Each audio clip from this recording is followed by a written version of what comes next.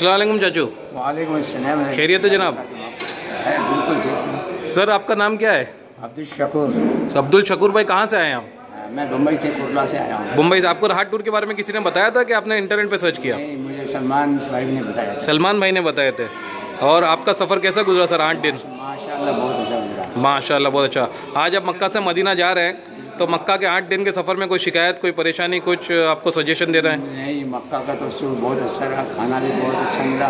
अच्छा। और जियारत के भी जो अरशद भाई आए थे जियारतों के लिए? बहुत अच्छा बयान दिया उन्होंने बहुत अच्छा तरह एक्सप्लेन किया। अच्छा। बहुत अच्छा लगा। स्टाफ वगैरह कोऑपरेटिव मिला आपको?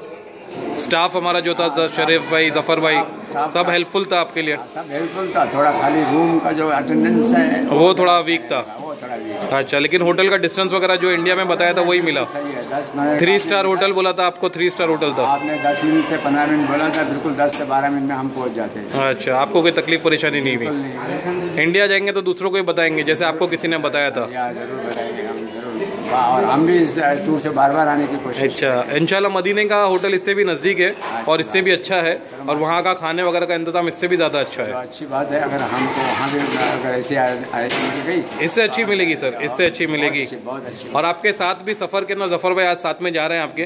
ज़फ़र भाई ने बहुत अच्छा कोऑपरेट किया। हाँ तो जफ़र भाई साथ में ही जा रहे हैं और इंशाल्लाह आपको वहाँ पे भी कोई तकलीफ़ होने नहीं देंगे। इंशाल्लाह। ठीक है सर शुक्रिया अल्लाह हाफिज़।